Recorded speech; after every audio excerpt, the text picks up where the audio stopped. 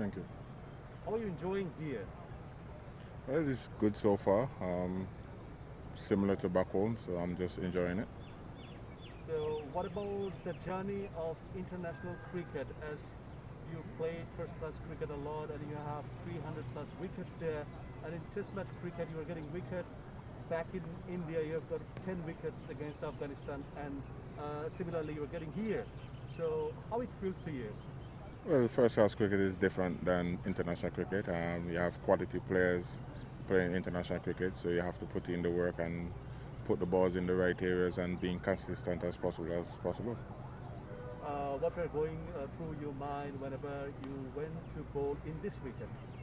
I first we have to see what the wicket gives to me. I um, think it was a slow pitch, um, not really spinning as fast as I expected. So I just have to adjust and put in the work and put the balls in the right areas consistently and see what the wicket gives me.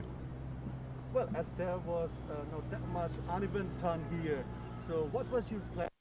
Well, I just have to see the weakness of the batsman. Um, I try bowl as full as possible and try put the balls in front of them as much as possible. Um, can be on the shorter side, it would be easy to play.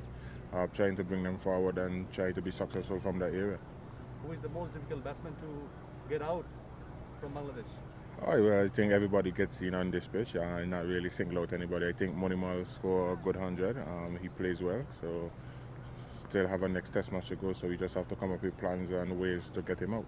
Any special plan with, uh, you know, international cricket career?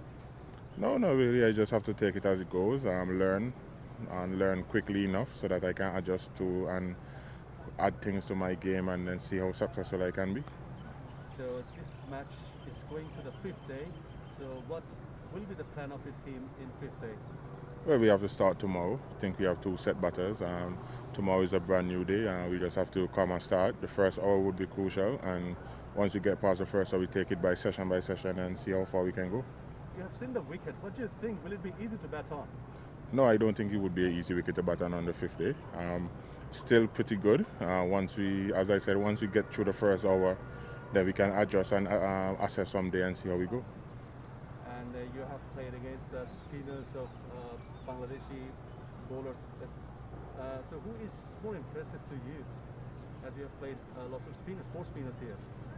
I think all of them bowl well. Um, there is no particular one that stand out really. I um, think these guys are tested bowlers. They put the balls in the right area. So we just have to stand up to the challenge and make sure we bat out to our best ability.